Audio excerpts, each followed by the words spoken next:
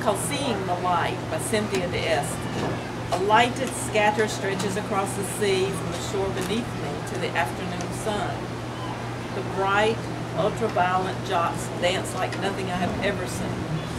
They last, sting my mind like synapses meeting outside the sphere.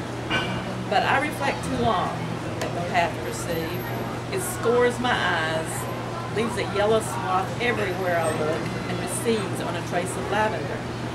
The path was there and disappeared like that.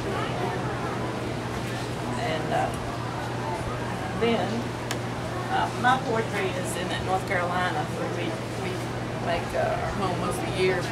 But I, I'm like Heidi. I, I, I started writing some things when this first happened.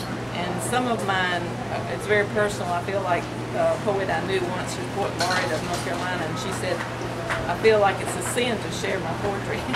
but she ended up doing so. But um, some of it is very personal. But this, one I was feeling very dark when I saw the first internet pictures come up out of Louisiana. And that's what inspired this, darkness, Demons of Darkness. Darkness covers the face of the deep, explodes into the light of day, and sweeps the sun away to some forbidden world.